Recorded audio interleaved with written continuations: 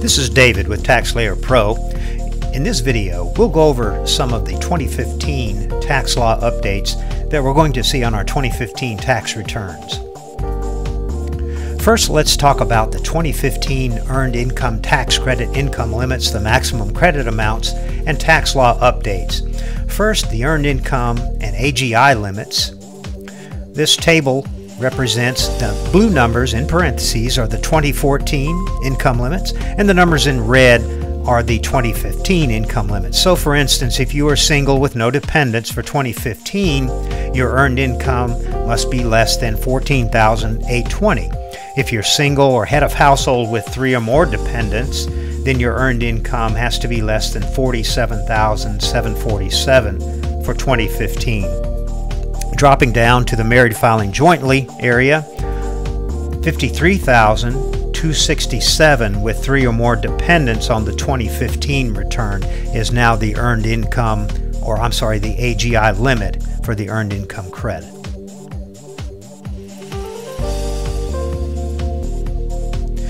The EITC investment income limit still $3,400 or less for the year Maximum earned income credit amounts, in other words, how much EIC is available for your client. The maximum amount of credit for tax year 2015, 6242 with three or more qualifying children. It was 6143 back in 2014, 5548 with two qualifying, $3,359 with one qualifying child, and 503 with no qualifying children, up from 496 for 2014. Personal exemptions. The personal exemption amount also goes up for 2015, a whole $50. Personal exemption for 2015 is 4000 up from 3950 in 2014.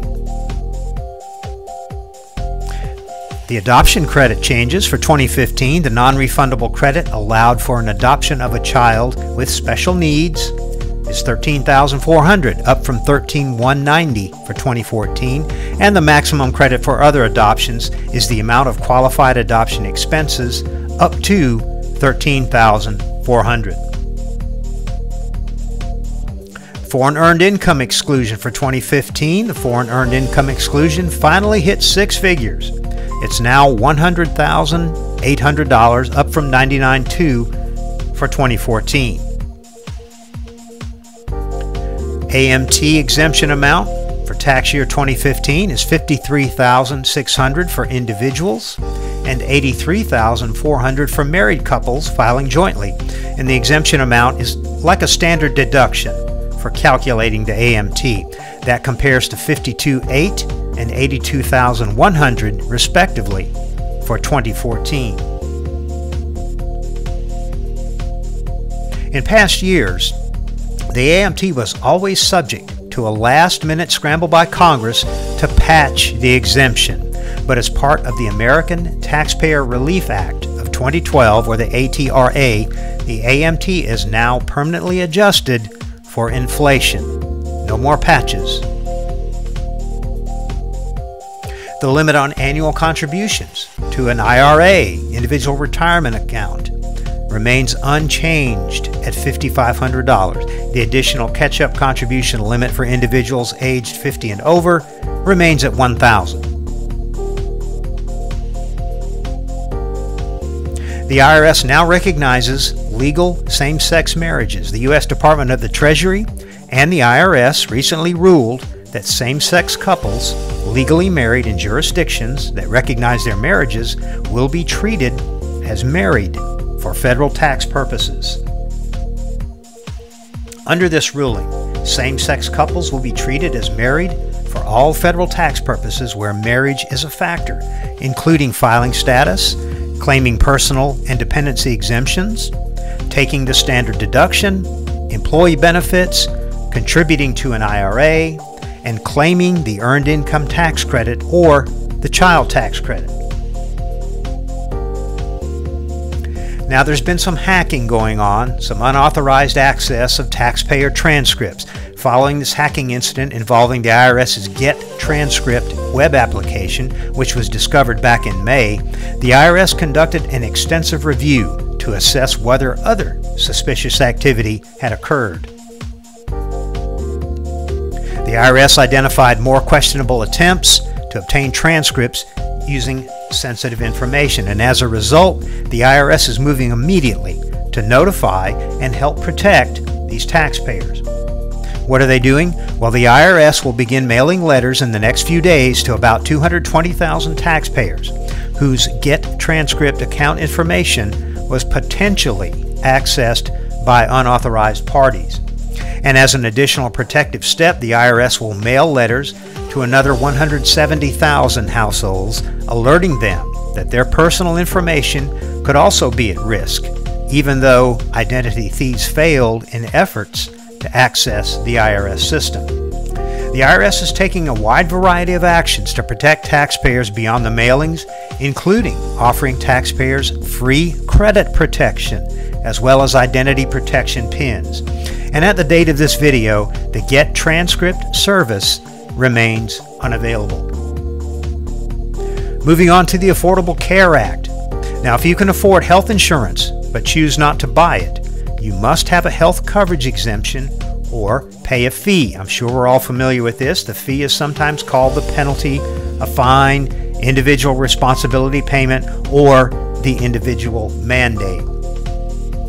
The fee for not having coverage in 2015 if you don't have coverage in 2015, you'll pay the higher of these two amounts 2% of your yearly household income only the amount of income above the tax filing threshold, about $10,150 for an individual, is used to calculate the penalty. The maximum penalty is the national average premium for a bronze plan.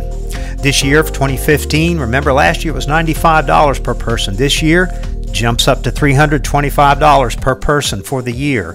162.50 per child under 18 and the maximum penalty per family using this method is $975. How do you pay the fee? You'll pay the fee on the federal income tax return that you file for the year you don't have coverage. Most people will file their 2015 returns in early 2016. Well, what happens if you don't pay the fee? The IRS will hold back the amount of the fee from any future tax refunds. There are no liens, levies, or criminal penalties written into the Affordable Care Act laws for failing to pay the fee. Moving on with the Affordable Care Act, the employer mandate employer penalty was delayed until 2015 2016, and now the Obamacare employer mandate employer penalty, originally set to begin in 2014, again, as we said, was delayed until 2015 2016. Obamacare's employer mandate is a requirement that all businesses with 50 or more full time equivalent employees, or FTEs, provide health insurance to at least 95% of their full time employees and dependents up to age 26 or pay a fee by 2016 how does the employer mandate work? Well, firms with 100 or more FTEs, full time equivalent employees, will need to insure at least 70% of their full time workers by 2015 and 95% by 2016. Small businesses with 50 to 99 full time equivalent employees will need to start insuring full time workers by 2016. This mandate does not apply to employers with 49 or fewer full time equivalent employees. Employers must offer coverage, but employees don't have to take it. They can't get marketplace subsidies if coverage meets affordability and minimum value guidelines. And since the employee was offered qualifying coverage, the employer doesn't owe the fee. Employees who work at least 30 hours per week or whose service hours equal at least 130 hours a month for more than 120 days in a year are considered full time. The annual fee $2,000 per employee if insurance isn't offered at all. If at least one full time employee receives a premium tax credit due to coverage either being unaffordable or failing to provide minimum value, the employer must pay the lesser of $3,000 for each of those employees receiving a credit or $2,000 for each of their full time employees, minus the first 30 employees. Now, here's the 1095A. I'm sure we all became familiar with this last year. Here's the 2015 version of the 1095A. And like last year, taxpayers will need the 1095A form to file for the premium tax credit, the 8962. 1095A is the health insurance marketplace statement. The 1095B requirement this year, taxpayers are going to need the 1095B form to report and verify on the tax return that the tax family had qualifying health coverage.